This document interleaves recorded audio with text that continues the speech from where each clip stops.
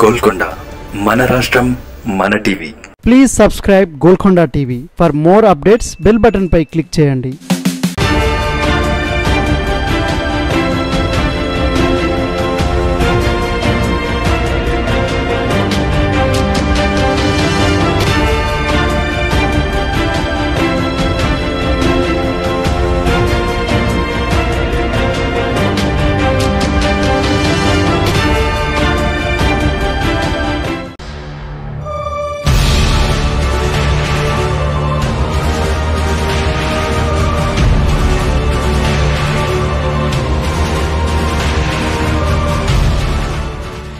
మహారాష్ట్రలో నెలకొన్న రాజకీయ పరిస్థితులు ఒక కొలిక్కి వచ్చేందుకు కాంగ్రెస్ అధినేత్రి సోనియా గాంధీ వార్ రూమ్ నిర్వహించే భేటీతో ఒక క్లారిటీ వస్తుందన్న మాట వినిపిస్తుంది.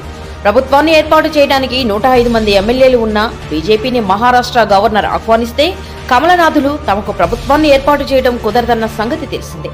అనంతరం బంతిని శివసేన కోర్టులో విడిచారు గవర్నర్. యాభై ఆరు మంది ఎమ్మెల్యేల బలం ఉన్న ఆ పార్టీకి ప్రభుత్వాన్ని ఏర్పాటు చేయడానికి సోమవారం రాత్రి ఏడున్నర గంటల వరకు సమయం ఇచ్చారు. ఆ పార్టీ ప్రభుత్వాన్ని ఏర్పాటు చేయడానికి అవసరమైన బలాన్ని చూపించాలని కోరారు. ఉదయం నుంచి బిజీ బిజీగా గడిపినప్పటికీ గడువు వేలకు మాత్రం కాంగ్రెస్ ఎస్సీపీల నుంచి మద్దతు లేఖను తీసుకురావడంతో విఫలమైంది. మరిన్ని చర్చలకు మరో రెండు రోజులు టైం కావాలని అడగ్గా అందుకు గవర్నర్ నో చెప్పేశారు.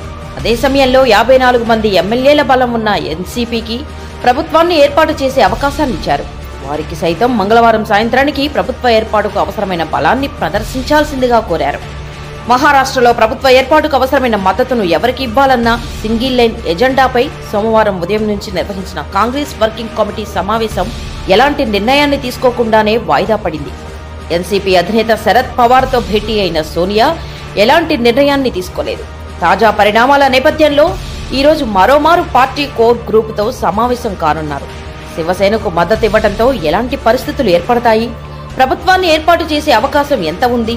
దాని పరిణామాలు ఎలా ఉంటాయన్న అంశంపై చర్చలు జరుపుతారని అనంతరం వార్ రూమ్ భేటీని నిర్వహిస్తారని చెబుతున్నారు. వార్ రూమ్ భేటీలోనే ఫైనల్ నిర్ణయాన్ని తీసుకునే అవకాశం ఉందంటున్నారు.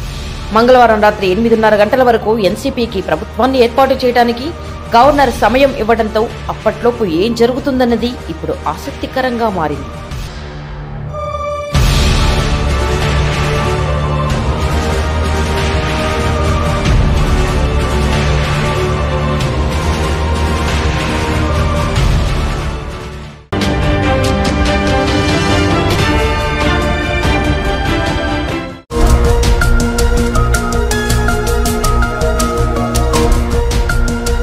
సత్యాలు చెప్పడానికి సాహసం కావాలి.